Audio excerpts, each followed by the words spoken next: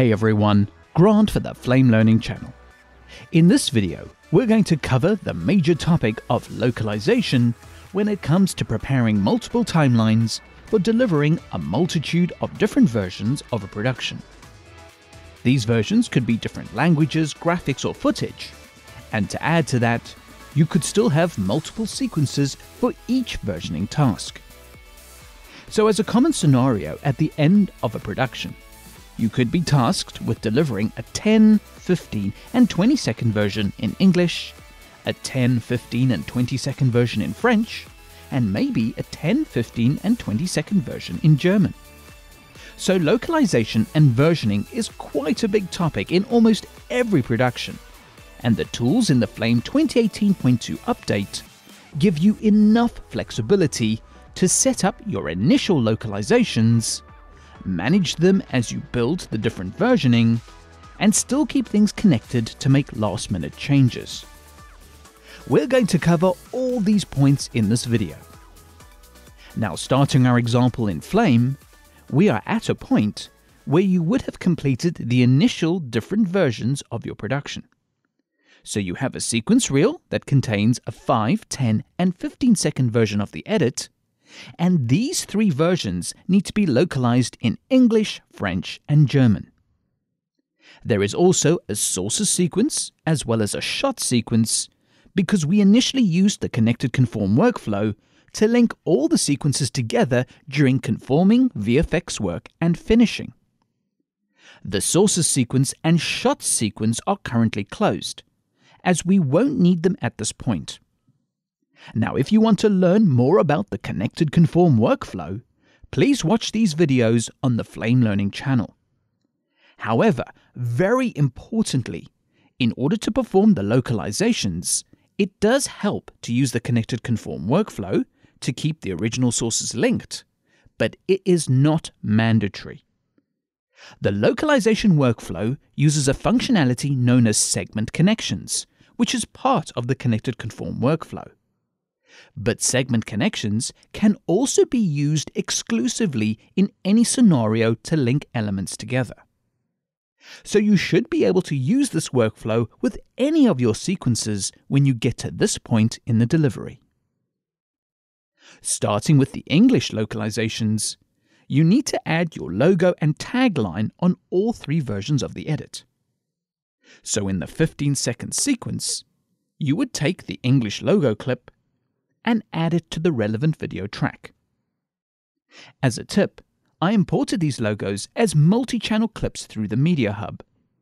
This means it contains the embedded alpha, and all you need to do is enable the comp timeline effects to key it over the background layer. Now I do know that this alpha is unpre-multiplied, so set the segment settings to unpre-multiply the key. This will prevent edge artifacts in this specific case. The logo is also a bit too big, so we need to scale and reposition it slightly. Ensure the segment is selected and call up the effects ribbon with Control Tab. Choose 2D Transform. We'll scale down the logo to 70% and position it higher in the frame to make room for the tagline text. Now, your text could be an imported graphics file, like the logo, but you can also use GapFX segments and the text editor to do the same. It just makes it more editable in Flame. Ensure the positioner is moved up to the top track, and press the Alt-X keyboard shortcut. This will cut the track to the length of the selection.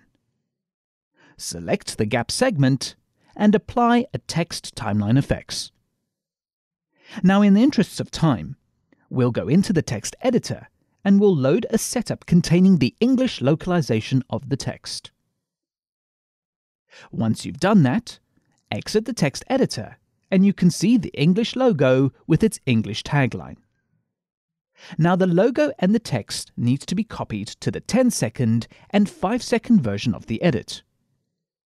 This is the moment where you'd enable the segment connection to keep instances of these two segments linked together as they are copied across the different sequences.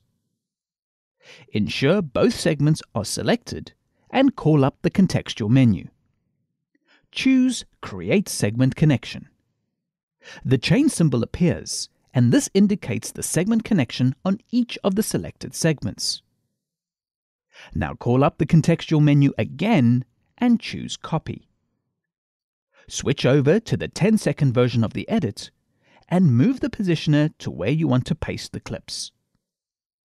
You can use the contextual menu or press Ctrl V to paste the segments. Obviously, the segments in the 15 second edit are longer than that of the 10 second, so you probably need to trim the segments to match the new duration of the sequence. Even though you're changing the length of your segment connections, these segments are still linked to the other sequence. We'll repeat the steps one last time in the 5 second version of the edit. Switch to the 5 second version of the edit and move the positioner accordingly. Paste the segments and trim them to match the end segment. Now to show you that the segments are connected, call up the contextual menu and select Jump to Connected Segment. Flame will show you all the sequences where this segment connection is being used. Switch to the 15 second version and let's alter the logo. Select the logo and the 2D transform timeline effects. Bring the scale down to 60%. Now ensure you are looking at the media panel or the Reels view and you'll see how the logo is smaller in one clip compared to the other two. Select the segment in the sequence and using the contextual menu, sync the connected segments. You should see all the clips update. So this is the first localization, which is English, and I suggest changing the sequences reel's name to start keeping track of the localizations. The sequences reel is now called English, and I'd like to point out that the current sequences reel is also represented by this button on the left of the timeline tabs. So the sequence tabs that are currently open belong to the English sequences reel. This will be very useful as we build the localized versions of the edit. Now let's move on to the French localizations. Go to the Media panel and call up the contextual menu over the English sequences reel. Click Duplicate. The duplicate sequences reel is created underneath the original, and you should rename this to French. Now you could also rename the sequences to keep organized, but I'm about to show you why that might not be necessary. When considering the timeline view, one thing that many do not realize is that the timeline view defaults to only show one sequence's reel at a time. So currently, you have an open 5, 10, and 15 second sequence. These sequences all belong to the English sequences reel because the timeline view is set to view the English sequences reel with the pull-down menu to the left of the sequence tabs. If you click on the pull-down menu, you can switch to view another sequences reel, like the French localizations, for instance. So here are all the open sequences for the French sequences reel. This functionality makes it easier to manage multiple sequence reels in the desktop as well as not flood the timeline view with loads of open sequences.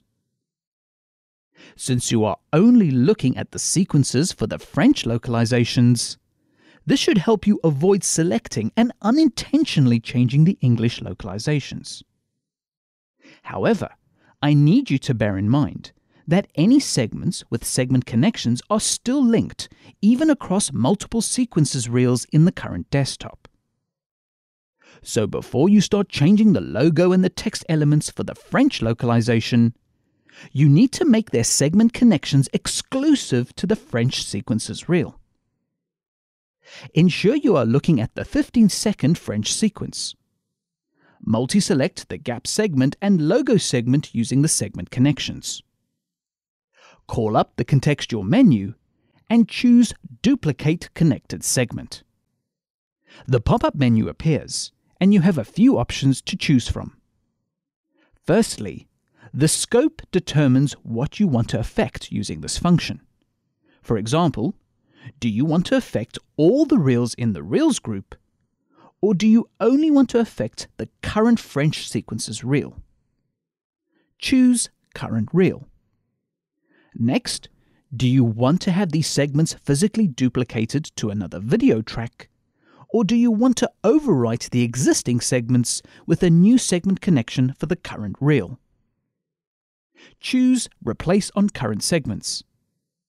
Click Apply. As a quick explanation, the selected segment connections in the French sequences reel are now exclusive and will not affect the same segments in the English sequences reel. So to update the sequence with the French localizations, select the logo segment in the sequence and select the French logo clip in the reels. Next, click the Edit pull-down menu and choose to replace media. You can also do this by pressing the Ctrl-Shift-R keyboard shortcut. Looking at all the sequence clips in the French sequences reel, they now reflect the localized French logo, and the sequence clips on the English sequences reel remain in English. Next, let's update the text tagline. Still in the 15 second French sequence, select the gap segment with the text timeline effects and enter into the text editor. I'll go ahead and load the French version of the text. Once that's done, exit the text editor. Now when the logo media was replaced, the media updated in all the connected segments. However, because the text is a timeline effects and not media, it has only updated in the 15 second French sequence. To sync all the localized French sequences, call up the contextual menu and sync connected segments. So all the graphics and text have been localized to French in the French sequences reel. Now on to the German localizations, and we'll do that quickly without all the explanations. You can select either the English or French sequences reel in the media panel. Duplicate the sequences reel and rename the sequence reel to German. Switch the timeline view to display all the open sequences for the German sequences reel. Ensure you are looking at the 15 second German localization and select the logo and text segments in the sequence. Call up the contextual menu and choose Duplicate Connected Segment. Set the scope to Current Reel and choose to replace on current segments. Click Apply. To switch over to the German localization of the logo, select the logo segment in the sequence and select the German version of the logo in the reels. Click the Edit pull-down menu and choose to replace media or press Ctrl-Shift-R. That's the logo taken care of, and now the tagline text select the gap segment with the text, and go into the text editor. We'll load the German localization of the text, and once you're done, return back to the sequence. Call up the contextual menu on the gap segment and choose Sync Connected Segments. So if you switch to the player view, here are all the sequences that are localized for German here are all the sequences that are localized for French. And finally, here are all the sequences that are localized for English. If you need to make any changes to the logo or text for any language version, the segment connections will only affect their specific language sequences reel. Now I'd love to say to you, that's a wrap and end the video. However, there is always a chance in production that something could change, which affects every version of the sequence in every localization. For instance, say you need to change some media, or perhaps apply a VFX to a shot across every sequence. This is where the connected conform really shines and might convince you to start using it if you don't already. So the initial sequences were created with the connected conform workflow, and all the original segments were linked as part of that workflow. Now for the localization, you added new segments and set them up as segment connections. The sequences reels were then duplicated into French and German localizations. Now, before you updated the logo and text for the French and German localizations, you select the specific segments and applied a duplicate segment connection. What is extremely important at that point is that this function only affects the selection and not every linked segment in the sequence. So all the other linked segments in all the sequences are still linked across the sequences reels. For example, you could be in any localized sequence and select the end shot. Call up the effects ribbon and apply a color warper timeline effects to the shot. To make it really clear, give the shot a really obvious look. Now this is not a necessary step, but ensure you are looking at the Reels view on the desktop.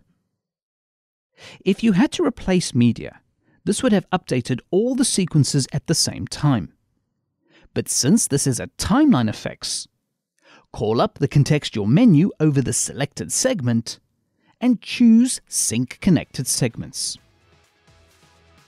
So very quickly, using the Connected Conform workflow, you can update the underlying media of all your sequences. And using the duplicate segment connection, you can create your localizations versions just as fast and get the job done as efficiently as possible. I hope you'll find this useful in your productions. And please be sure to check out the other workflows, features, and enhancements to the Flame 2018.2 update. Comments, feedback, and suggestions are always welcome and appreciated. Thank you for watching and please subscribe to the Flame Learning channel for future videos.